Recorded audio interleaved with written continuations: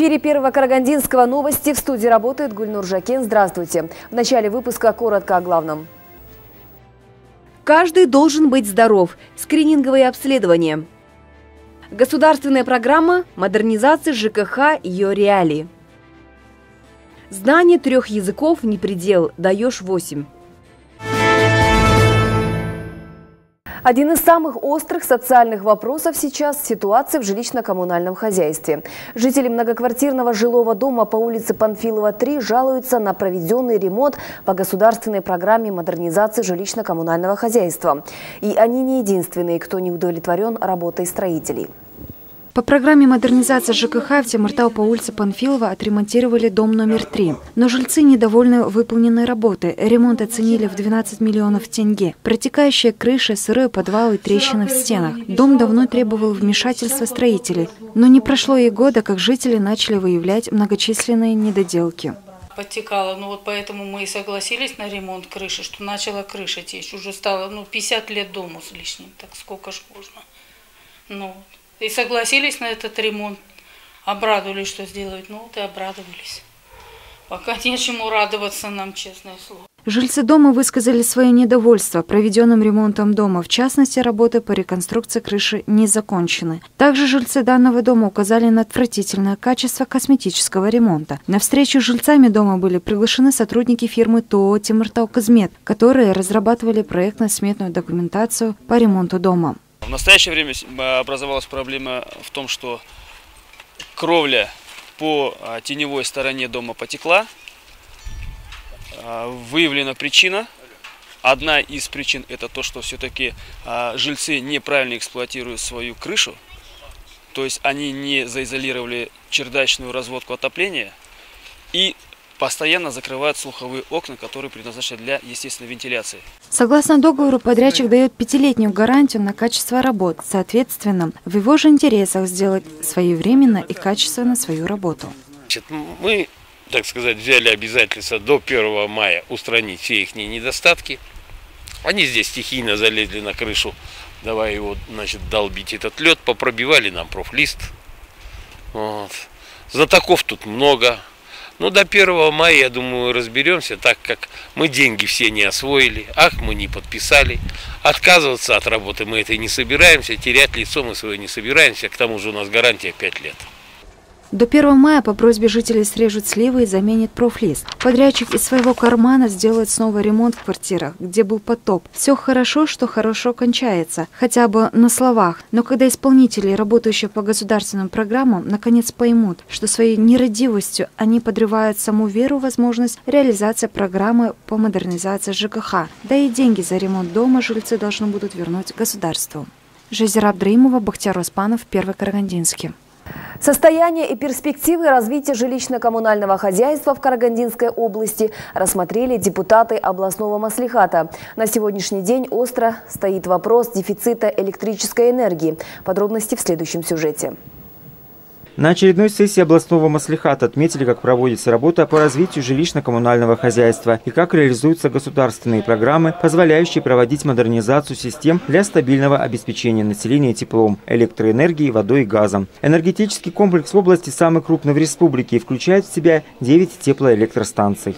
Рост производства связан с проводимой энергопредприятием в рамках конституционных программ, модернизацией и конструкцией основного оборудования станции. Это позволило снизить уровень износа оборудования с 80% э, в девятом году до 70% в 13 о чем свидетельствует снижение технологических нарушений, проще говоря, остановок в 2012 году было 115, э, в прошлом году уже 98. В ближайшие годы в рамках государственных программ развития регионов, развития моногородов и модернизации ЖКХ за счет средств государственного бюджета и инвестиционных программ предприятий планируется модернизировать тепловые электрические сети в таких городах, как Караганда, Джисказган, Балхаш и Абай. Все эти мероприятия направлены на обеспечение стабильного теплоснабжения городов области. Тема сегодняшней сессии, она, наверное, одна из самых актуальных. Это перспективы развития коммунальной сферы Карагандинской области.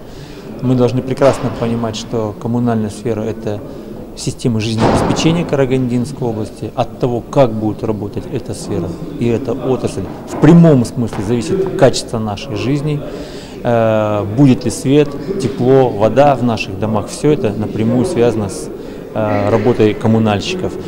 Как считает Сергей Полищук, мы должны прекрасно понимать, что работа по улучшению коммунальной отрасли никогда не должна останавливаться. И данная сессия областного маслихата – это только начало тому, что будет сделано в будущем. Николай Кровец, Карат Рашитов, Бахтияр Успанов, Первый Карагандинский. Современный казахстанец обязан быть здоровым. Сегодня медицина способна справиться с большинством заболеваний, поражающих человеческий организм.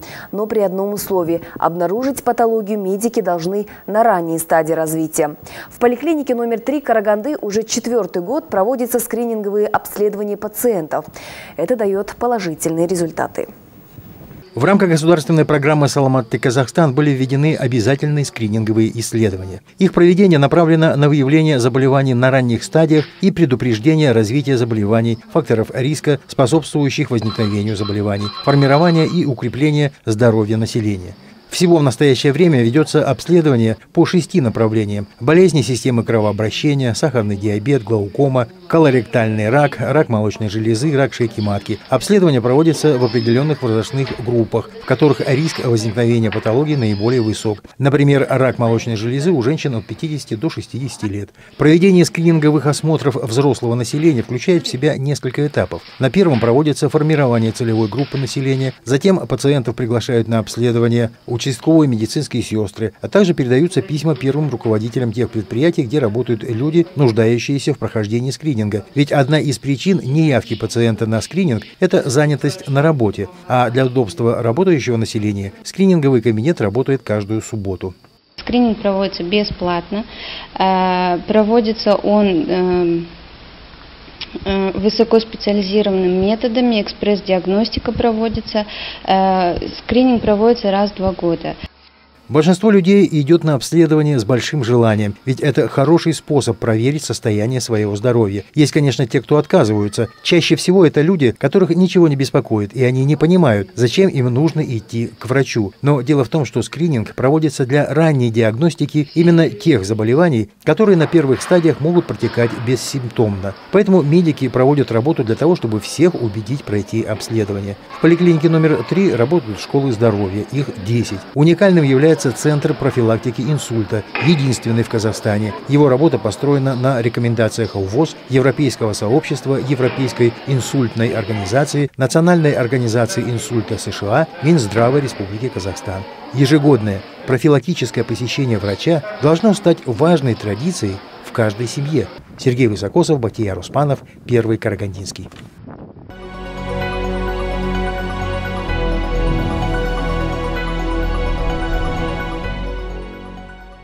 Спонсор показа Galaxy Group, производитель продукции торговых марок Алюгал, Галвин, Херкюль. Торговая марка Галвин представляет Эконом-серия профиль Галтек 53 серии Эконом-система трехкамерных профилей монтажной шириной 53 мм представляет собой качественное и экономичное решение. Если вам нужны внутренние перегородки в магазин, офис, балкон или лоджию – это ваш профиль. Стандартная система «Профиль Галвин». Профиль Галвин 60 серии. Это система четырехкамерных профилей с монтажной шириной 60 мм. Идеально подходит для любого климата и региона. Система стандарт относится к классу А, а значит полностью соответствует современным требованиям качеству оконных и дверных профилей. А теперь новинка. Серия «Эксклюзив».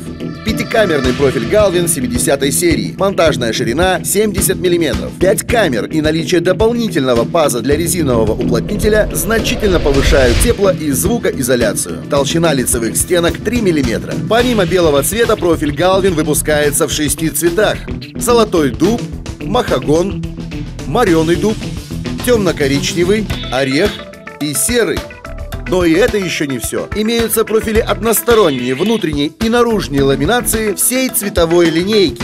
Все профили торговой марки Galvin и Galtec не содержат свинца и на 100% соответствуют санитарно-эпидемическим нормам. Профиль Galvin – морозостойкий, надежный, прочный.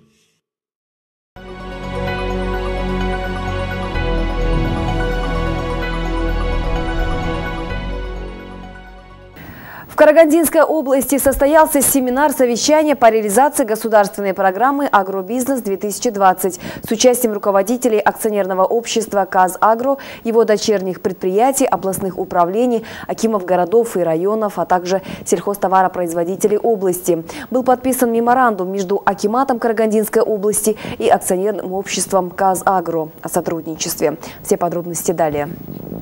Темой семинара стало разъяснение механизмов реализации инвестиционных проектов развития сельского хозяйства, а также кредитование сельских товаропроизводителей в рамках программы «Агробизнес-2020». За последние годы в области удалось обеспечить динамичное развитие сельского хозяйства, отметил заместитель председателя правления «Казагра» Карата Туганов.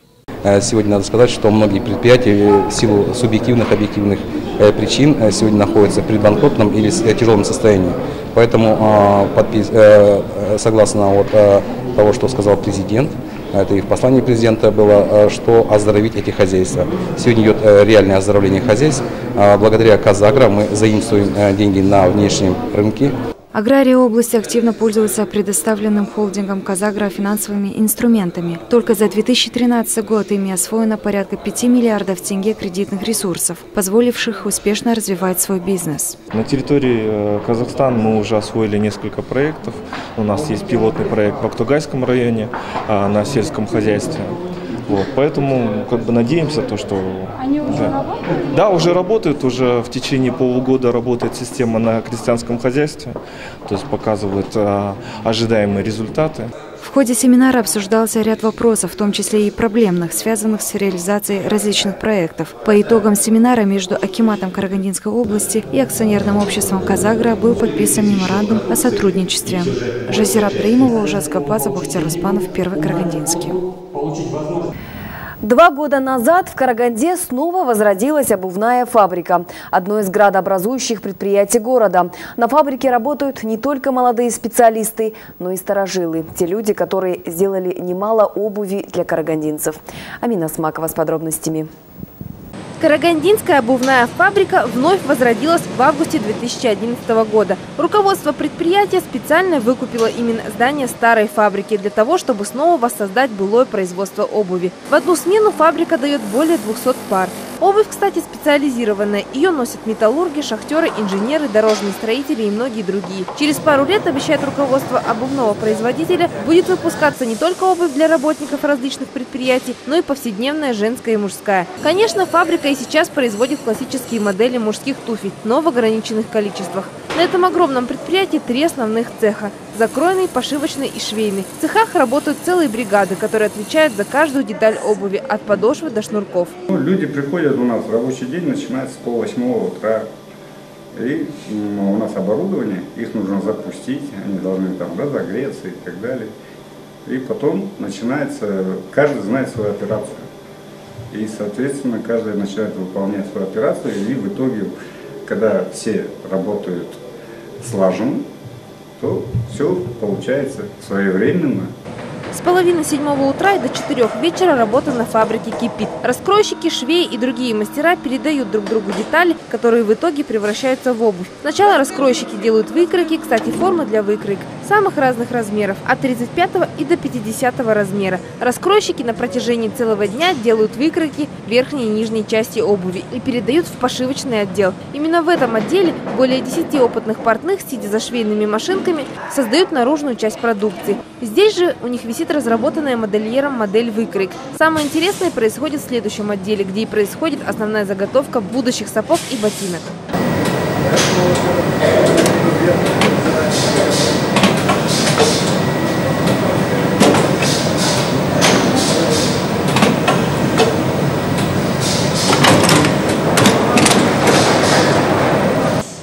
Каждый из мастеров имеет свое рабочее место и оборудование, которое позволяет сделать детали обуви. Кстати, оборудование на фабрике одно из самых последних моделей. Благодаря качественной и современной технологии через пару лет фабрика будет выпускать около 800 пар обуви в смену. Новая техника – это не только количество выпускаемой обуви, но и ее качество. Материал, с которым приходится работать, натуральный. Кожа, меха привезены из-за границы. Всего на фабрике работает около 60 человек. В будущем здесь собираются открыть еще 150 рабочих мест. Чтобы качество было на высшем уровне, директор лично искал тех людей, которые проработали не один десяток лет еще на старом предприятии. путем э, усиленных поисков нашли мы и технологов, и модельеров, и начальников цехов, и вот создали небольшой коллектив, а косяк которого в основном составляет именно старожилы. Старожилы работают, как и раньше, не покладая рук. У каждого из них стаж более 30 лет. К примеру, Елена Шамшурина пришла на обувное производство в 1976 году. Женщина делала выкройки и сейчас на новом предприятии продолжает это делать.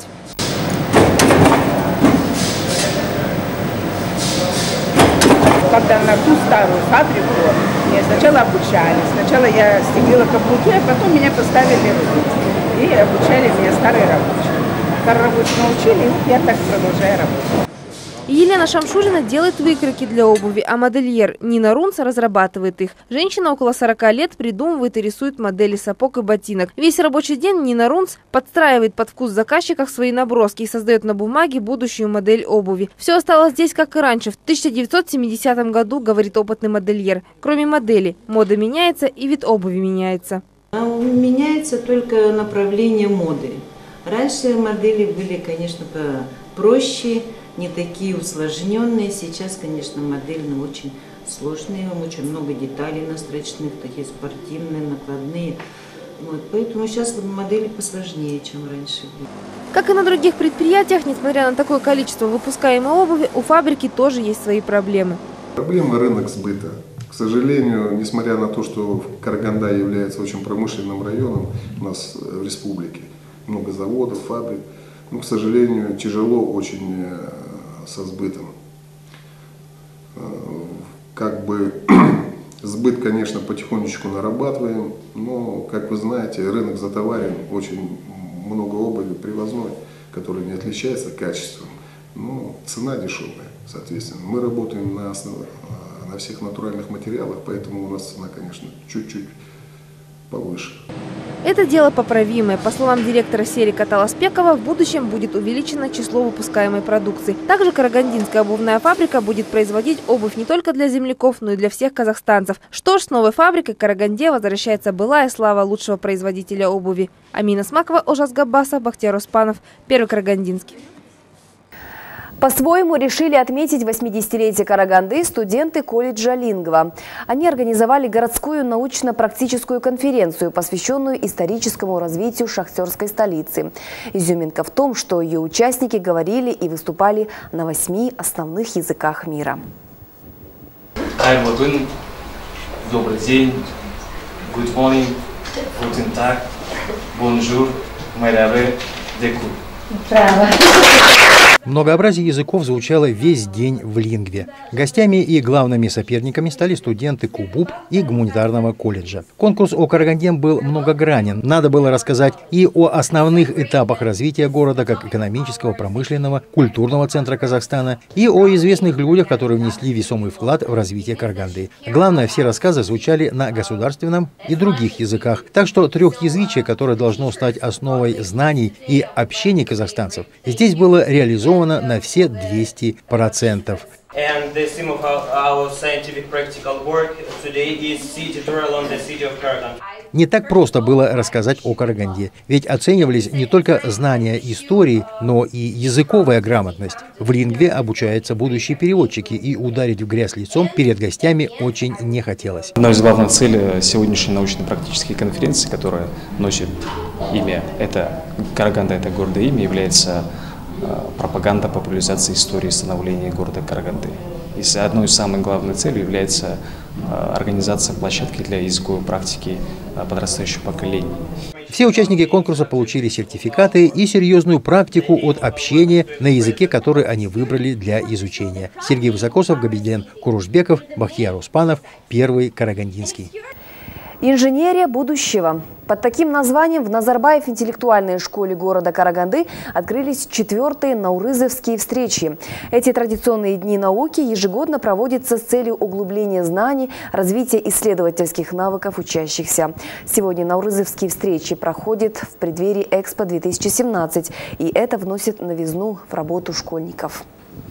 Программа первого дня была очень насыщена. На разные темы читались лекции, проводились конкурсы. Участниками встречи были учащиеся интеллектуальных и общеобразовательных школ из всех регионов Казахстана. На встрече выступил заместитель Акима области Бисембай Жумабеков и поздравил молодежь с праздником Наурыз. Поздравить вас с открытием четвертого Наурызовской встречи Назарбаев интеллектуальных школ. Пожелать вам больших успехов.